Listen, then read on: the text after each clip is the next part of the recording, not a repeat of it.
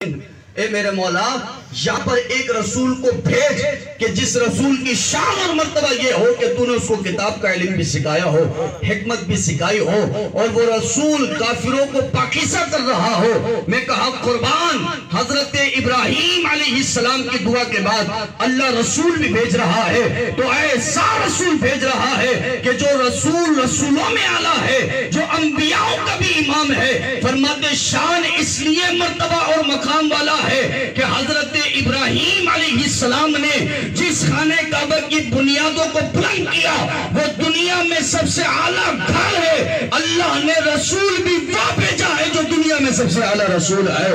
घर भी सबसे आला है और उस घर में जो रसूल आया है, वो भी सबसे आला है। तकबीर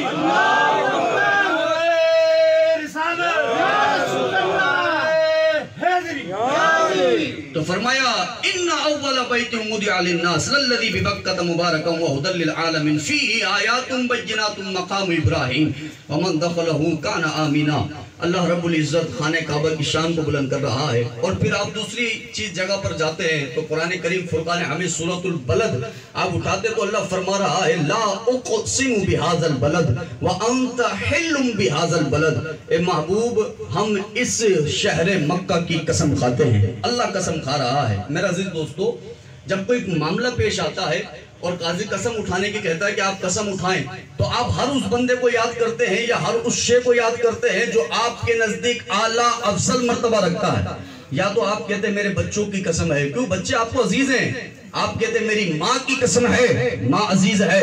मेरे बाप की कसम है, बाप आपको अज़ीज़ है, अल्लाह की कसम है। अल्लाह आपको अज़ीज़ है मोहम्मद रसूलुल्लाह की कसम है।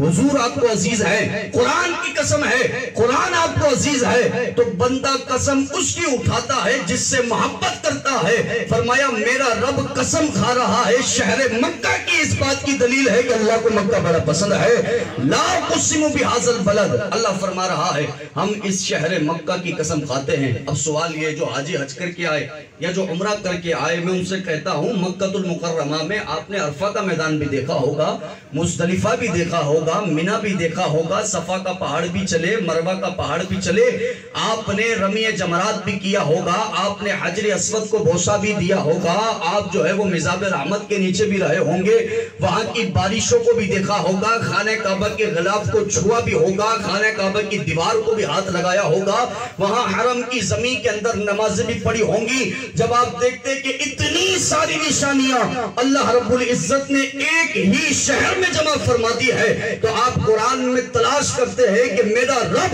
किस निशानी की वजह से शहर मक्का की कसम खा रहा है? तो आपको पता चलता है कि अल्लाह शहर मक्का की कसम खा तो रहा है, लेकिन अगली आयत में वजह भी बता रहा है कि ए महबूब यहाँ सफ़ा व मरवा भी है यहाँ हजर असमद भी है यहाँ पर मिजाब रहमत भी है यहाँ पर मुस्तल्फा भी है यहाँ पर मीना भी है यहाँ पर अल्फ़ा का भी मैदान है।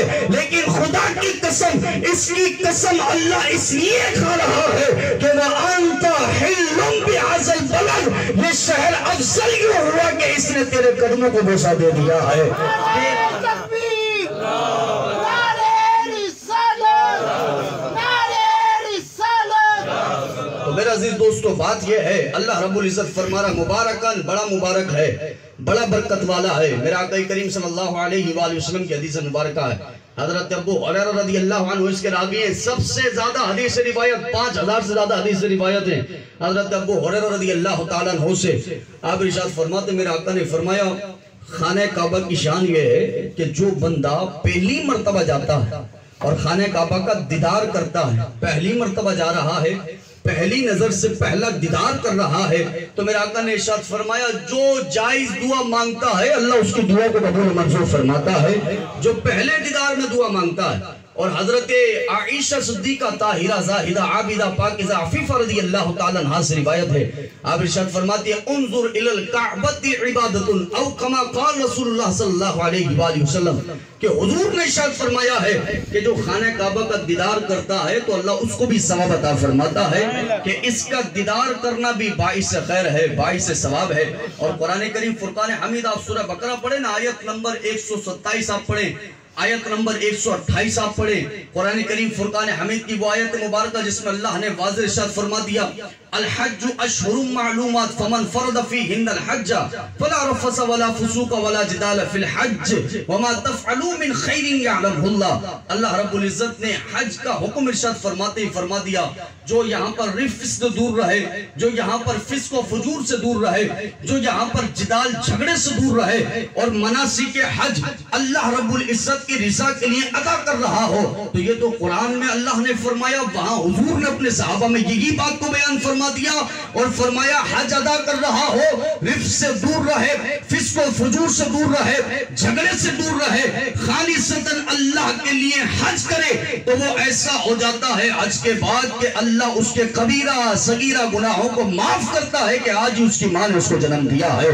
ऐसा गुनाहों से पाक होता है। ये मेरा आका करीम सल्लल्लाहु अलैहि वसल्लम की हदीस मुबारक है। और एक हदीस मुबारक है, रसूलुल्लाह सल्लल्लाहु अलैहि वसल्लम ने इरशाद फरमाया, जो पैदल हज करता है, पहले के लोग पैदल भी हज करते थे, इश्क वाले लोग, मोहब्बत वाले लोग, हुजूर फरमाते, जो पैदल हज करता है, अल्लाह उसके हर कदम के बदले हरम की सात सौ नेकियाँ अता फरमाता है।